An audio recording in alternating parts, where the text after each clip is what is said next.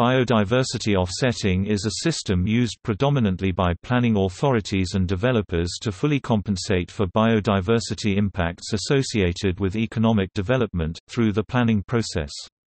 In some circumstances, biodiversity offsets are designed to result in an overall biodiversity gain. Offsetting is generally considered the final stage in a mitigation hierarchy, whereby predicted biodiversity impacts must first be avoided, minimized and reversed by developers, before any remaining impacts are offset. The mitigation hierarchy serves to meet the environmental policy principle of no net loss of biodiversity alongside development, individuals or companies involved in arranging biodiversity offsets will use quantitative measures to determine the amount, type and quality of habitat that is likely to be affected by a proposed project. Then, they will establish a new location or locations often called receptor sites where it would be possible to recreate the same amount, type and quality of habitat.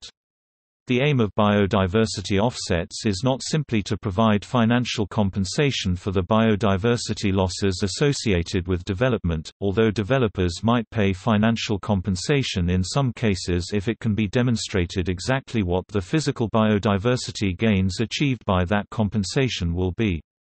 The type of environmental compensation provided by biodiversity offsetting is different from similar systems in that it must show both measurable and long-term biodiversity improvements, that can be demonstrated to counteract losses.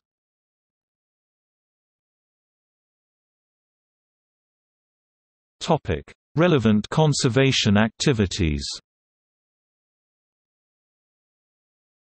Biodiversity offset projects can involve various management activities that can be demonstrated to deliver gains in biodiversity. These activities very often include active habitat restoration or creation projects e.g. new wetland creation, grassland restoration. However, also viable are so-called averted loss biodiversity offsets, in which measures are taken to prevent ecological degradation from occurring where it almost certainly would have happened otherwise. Averted loss offsets might involve the creation of new protected areas, to conserve fauna species that would otherwise have disappeared, the removal of invasive species from areas of habitat which otherwise would have reduced or displaced populations of native species, or positive measures to reduce extensive natural resource use e.g. the offer of alternative livelihood creation to prevent activities leading to deforestation. Any activities that do not result in a positive and measurable gain for biodiversity would not generally be counted as part of a biodiversity offset. For instance, if a developer funds ecological conservation research in a region that they are impacting through a project, would not count as an offset unless it could be shown quantitatively how specific fauna and flora would benefit. Instead, this would be a more general form of compensation. Note that biodiversity offsets can be considered a very specific, robust and transparent category of ecological compensation.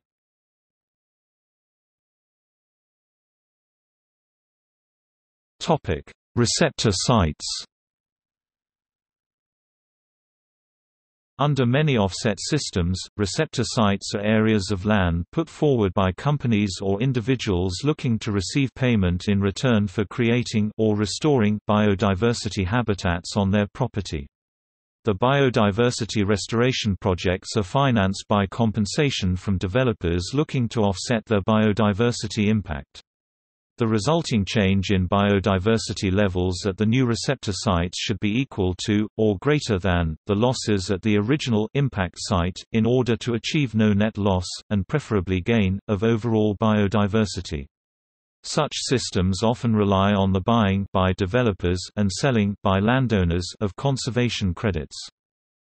However, characteristics of receptor sites can vary across different jurisdictions. In some countries, for instance, land is primarily state-owned, and so it is the government that owns and manages biodiversity offset projects. For biodiversity offsets in marine environments, receptor sites might be subject to multiple management organizations and not necessarily owned by anyone. Controversially, some biodiversity offsets use existing protected areas as receptor sites i.e. improving the effectiveness of areas that are already managed for biodiversity conservation.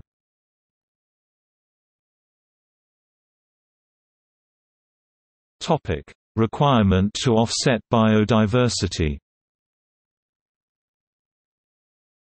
Biodiversity offsets are required by law in many jurisdictions Madsen al., 2011.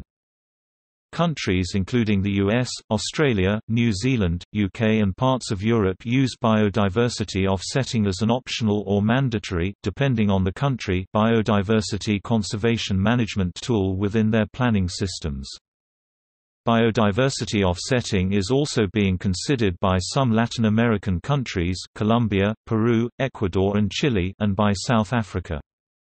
Another key driver of biodiversity offset projects globally are the performance standards required by the International Finance Corporation IFC. For any projects which the IFC or any of the Equator Banks, Equator Banks finance, under Performance Standard 6, developers must deliver no net loss or in some cases, a net gain of biodiversity. Finally, a number of companies implement biodiversity offsets after setting voluntary policy commitments to achieve no net loss or a net positive impact for biodiversity overall associated with their operations. This is part of a broader effort for the private sector to manage biodiversity.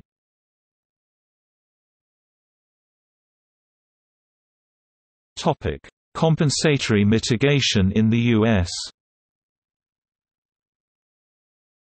No net loss policy and consequently, biodiversity offsetting has its origin in U.S. legislation, specifically in the Water Act from the 1970s. This piece of legislation required no net loss of wetland acreage and function, leading eventually to the creation of mitigation banks, where wetland credits are bought and sold. The U.S. also has a conservation banking policy in which credits representing areas of habitat for protected fauna species are traded. In the U.S., offsetting tends to be called compensatory mitigation.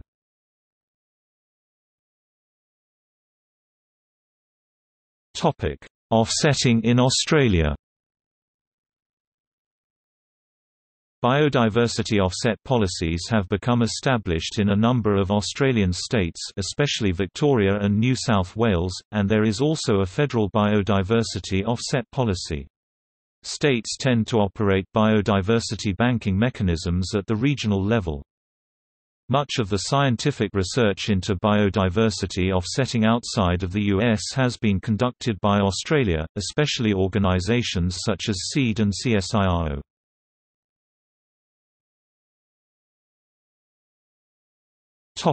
Offsetting in the UK In the UK, compensation for environmental harm caused by development in the form of biodiversity offsetting is currently an optional non-compulsory tool for developers. Those developers choosing to incorporate biodiversity offsetting practices into their project plans can do so once the normal planning mitigation hierarchy has been followed, which involves taking steps to avoid and reduce environmental harm, where possible, at the development, or impact, site. Biodiversity offsetting is only applicable to land that has been approved for development, which means it does not apply to protected sites such as Sites of Special Scientific Interest or National Nature Reserves NNRs. In addition to protected areas, vulnerable or irreplaceable habitats such as ancient woodland are also exempt from biodiversity offsetting. In 2011, six biodiversity offsetting pilot schemes were started in England by the British government to test the process. They were run in partnership with local groups and private companies and are located in Warwickshire, Essex, the Ribble Valley, at three sites in Devon, in Nottinghamshire, and Doncaster http www.doncaster.gov.uk services planning biodiversity offsetting in Doncaster closing parenthesis in September 2013, the British government published a Green Paper containing plans for further incorporation of biodiversity offsetting in the UK planning system. Public consultation period, 5 September to 7 November 2013.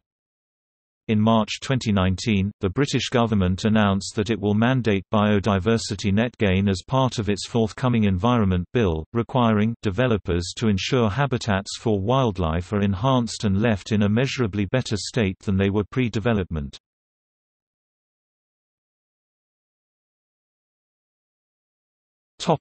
Economic value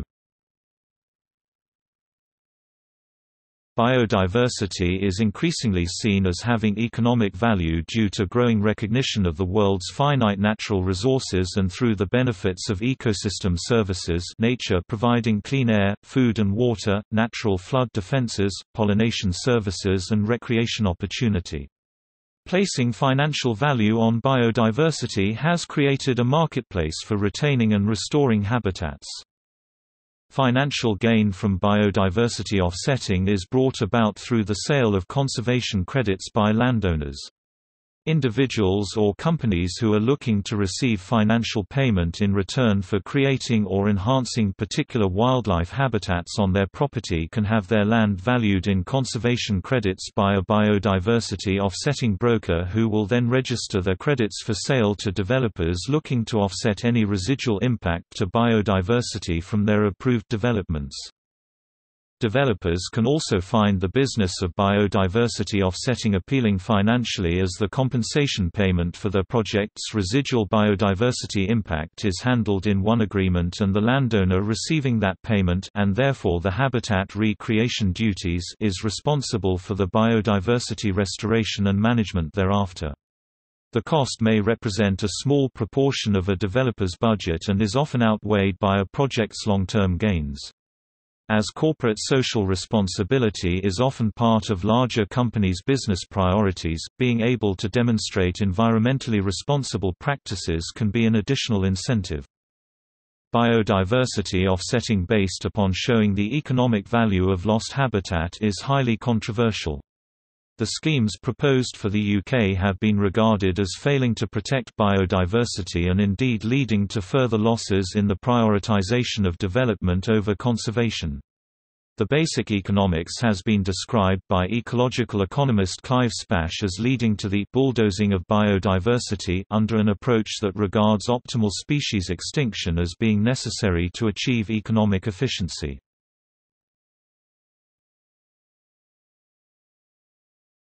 Topic: Conservation credits. The cost of recreating an area of habitat affected by a development proposal impact site can be calculated and represented as a number of conservation credits that a developer could purchase in order to offset their biodiversity impact. Land put forward for investment to re-create impacted biodiversity receptor site is also calculated in conservation credits, to account for the cost of creating or restoring biodiversity at that particular site and to cover the cost of its long-term conservation management. This situation enables the buying by developers and selling by landowners of conservation credits. Government-approved quantitative and qualitative metrics should be used to calculate the number of conservation credits that can be applied to each site, in order to maintain accuracy and consistency in the value of a conservation credit.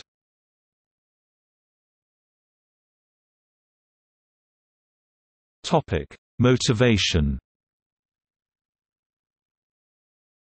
A decline in global biodiversity due, in part, to land use changes is the motivation for creating a system within the planning process that tackles unavoidable and residual impact to biodiversity. Formal evaluation of impact to habitat, wildlife and other natural considerations is often required of developers ahead of receiving approval for a project to go ahead. This can often be in the form of environmental impact assessments which are commonplace within the work of government planning authorities. EIAs look at how proposed projects may impact upon the environment in its broadest sense, covering the traditional green aspects alongside any social and economic issues, and can result in mitigating and compensatory packages which form part of a project's overall proposal for approval. The topic of biodiversity is likely to be looked at as part of an EIA, but in conjunction with many other overriding elements. Biodiversity offsetting, as an assessment and compensatory process, can either sit inside or outside of AIA and AIMS, specifically, to tackle habitat, and therefore biodiversity, loss.